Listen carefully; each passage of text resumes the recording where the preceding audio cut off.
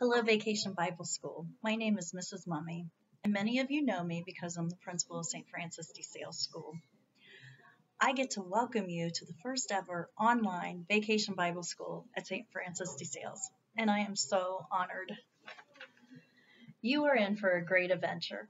We are praying that you feel Christ's love, that you grow closer to God, and that you have fun along the way. I'm going to put on my sunglasses.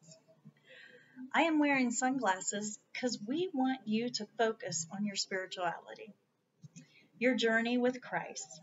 Focus on His love. Focus means to concentrate, to pinpoint your thoughts. Focus also means to open your heart. When we open our heart to Christ's love, we can grow in His name.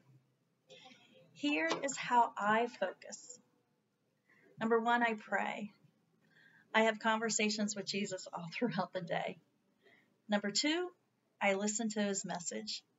I take quiet time to hear his message, to hear his word, to hear his guidance. And three, I love music. I focus on the words of the hymns and the songs of the Mass. I even have a playlist of praise and worship music. These songs help me to focus on Christ and my journey. You will learn how to focus on Christ this week. Romans 2, excuse me, Romans 12 verse 2 says, "Do not conform to the pattern of this world, but be transformed by the renewing of your mind. Then you will be able to test and approve what God's will is. It is good, it is pleasing, and it is perfect." Together, let's pray. In the name of the Father, Son, Holy Spirit, amen. Come, Holy Spirit. Father, you are so good, pleasing, and perfect. You make all things available for us. Because of your love, please help us to focus this week on you, on prayer, on learning. Help us to concentrate on your love, to allow for prayer, music, and quiet time to move us. We thank you for this opportunity of Vacation Bible School.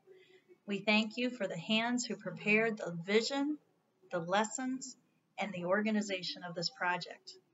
We thank you for today. Together, let's pray. Our Father, who art in heaven, hallowed be thy name. Thy kingdom come, thy will be done, on earth as it is in heaven. Give us this day our daily bread and forgive us our trespasses, as we forgive those who trespass against us. And lead us not into temptation, but deliver us from every evil. Amen. In the name of the Father, and the Son, and the Holy Spirit. Amen.